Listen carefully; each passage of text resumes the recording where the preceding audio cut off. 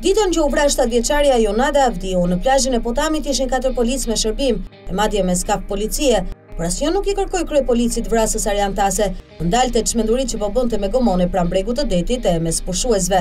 Një ditë pas tragjedisë, në atë plazh ishin mbi pesëdhjetë policë, me në krye drejtorin Gledis Nano, të cilët pozonin me këmbë hapur, barqet si kacek, gushet si gjeldeti e me krekosje si të fortë, por sipas informacionit që ka pamfleti, më parë i kishin njoftuar e u kishin bërë temena të fortëve, fëmijëve të politikanëve, bosëve të hoteleve e trafikantëve, të largonin skafet. Me qëllim që policia dhe i madhi i saj pupaci Gledis Nano, të dukeshin në krye të detyrës si mbrojtës të qytetarëve e goditës së krimit, ndërsa Zeusi ta shikonte paradën në televizor e ta propagandonte si siguri të lartë publike. Po përse nuk u garantua siguria në plazhin e Potamit, ditën kur u vra shtatë vjeçarja, por me shfaqje pas ngjarjes? Përse duhet policia në këtë vend kur nuk vepron? Përse tentohet të mbulohet e vërteta e ndyrë me aktrime e parfumosje të tilla mediatike?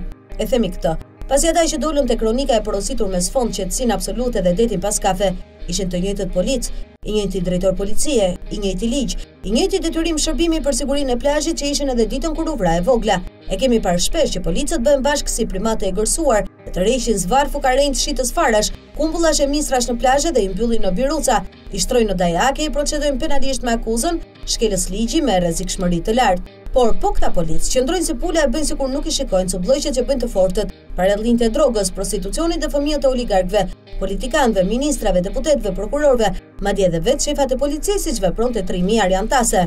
Është e pafalshme që vetëm policia e rrethit të Vlorës ka pesëqind e dhjetë policë, por nuk bëjnë dot zap tre katër langaraj që hapen bythësh nëpër plazhe me lekë vrasjesh me pagesë, kokaine, prostitucioni dhe korrupsioni të baballarëve pushtetarë e oligarkë. Ngaqë heshtin e nuk veprojnë trupat policore, shpesh në këmbim të ndonjë pesë mijë lekëshi, cubat bëjnë ligjin nëpër plazhet e zonës Vlorë-Himarë-Borsh, duke zaptuar hapësirat publike, duke ngritur muzikën në kupë të qiellit e duke bërë aventura me skafe mes pushuesve. Një ditë pas ngjarjes, kryepolici shkoi në zonën e krimit dhe para kamerave të prenotuara, tha: "Tani që dola vetë në terren, në plazhe do të ketë qetësi e siguri të plotë dhe nuk do ketë më të fortë që do bëjnë akrobaci me skafe buzë bregut." Pyetjet që qytetarët i bënë kryepolicit në rrjetet sociale ishin këto, Po, ku ishe deri ditën e tragjedisë? Pse vartësit e tu nuk e kryen detyrën atë ditë që u vra vajza 7 vjeç? Përse policët nuk zbatojnë ligjin përherë, por vetëm kur në zona shkon ti e pasi ndodhin krime, mos vallë nuk të përfillin ty e u binden të fortëve? Prandaj zoti kryepolic i Shqipërisë, verifiko veten dhe lëri deklaratat e skeçet mediatike të llojit Ardi Veliu. Hiq dorë nga modelet dhe praktikat mafioze të Ardi Veliut. Pastro policinë nga llumi që Ardi Veliu ka lënë në krye të saj, sidomos në Tiranë, Vlorë, Fier, Durrës, Berat, Elbasan.